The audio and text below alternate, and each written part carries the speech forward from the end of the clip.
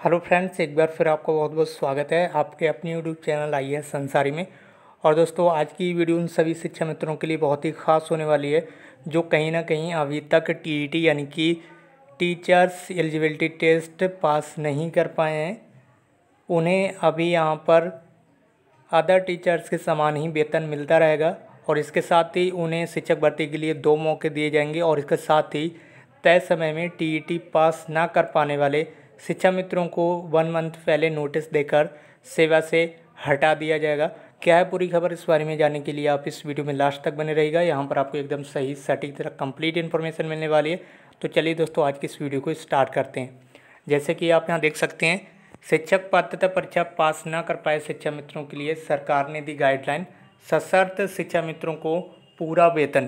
दोस्तों, आज की ये न्यूज़ उत्तराखंड स्टेट से निकलकर सामने आ रही है। अगर आप चैनल पर नए तो चैनल को सब्सक्राइब करके बेल आइकन को ज़रूर प्रेस करें क्योंकि आपको यहाँ पर सभी राज्यों की सभी न्यूज़ लगातार प्रोवाइड की जाती है। सबसे पहले हम यहाँ पर बात कर लेते हैं, किस प्रकार के शिक्षा मित्र यहाँ पर हैं। तो यहाँ पर आप देख सकते हैं, तीन प्रकार के शिक्षा मित्र हैं उत्तराखंड स्टेट में। शिक्षा विभाग में इस वक्त तीन प्रकार के शिक्षा मित्र हैं। पहली श्रेणी हाईकोर्ट के आदेश पर जनवरी 2015 में, औपबंधिक रूप से नियुक्त 2800 से ज़्यादा शिक्षा मित्रों की है।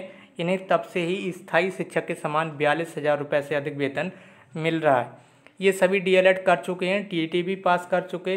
1600 शिक्षा मित्रों को परमानेंट करने के आदेश सरकार पहले ही दे चुकी है। 1200 से ज़्यादा शिक्षा मित्र अब भी टीईटी नहीं कर पाए हैं। दूसरी श्रेणी में पंद्रह हज़ार रुपये मासिक मानदेय वाले करीब 700 शिक्षा मित्र हैं, ठीक है? ये भी टीईटी नहीं कर सके हैं तो इनके लिए भी यहाँ पर एक बड़ी अपडेट है। तीसरी श्रेणी में सवा सौ के करीब वो शिक्षा मित्र हैं जो ना तो डीएलएड कर पाए हैं और ना ही अभी तक टीईटी कर पाए हैं। ठीक है, उनके लिए यहाँ पर आप देख सकते हैं, क्या बताया गया है? दो बार में टीईटी ना कर पाने पर एक माह का नोटिस देकर उन्हें हटा दिया जाएगा। इसके साथ ही यहाँ पर आप देख सकते हैं, बारह नंबर का बेटेज भी दिया जाएगा भविष्य में होने वाली नियुक्तियों में।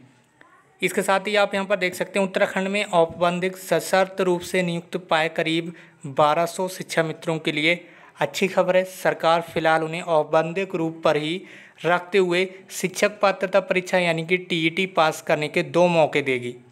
यदि उन्हें परमानेंट शिक्षक के रूप वेतन मिलता रहेगा, यानी कि उन्हें अभी यहाँ पर परमानेंट शिक्षक के समान ही वेतन मिलेगा, ये ज़रूर है कि तय समय में टीईटी ना कर पाने पर उन्हें एक महीने का नोटिस देकर नौकरी से हटा दिया जाएगा।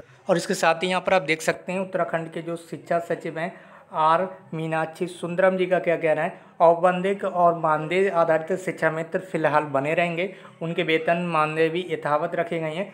तय अवधि में उन्हें टीईटी का मानक पूरा करना होगा। तो दोस्तों, ये थी शिक्षा मित्रों से रिलेटेड कुछ इंपॉर्टेंट न्यूज़ अगर वीडियो आपको पसंद आई हो तो इसे एक लाइक ज़रूर करें, अपने फ्रेंड के साथ शेयर कर दें।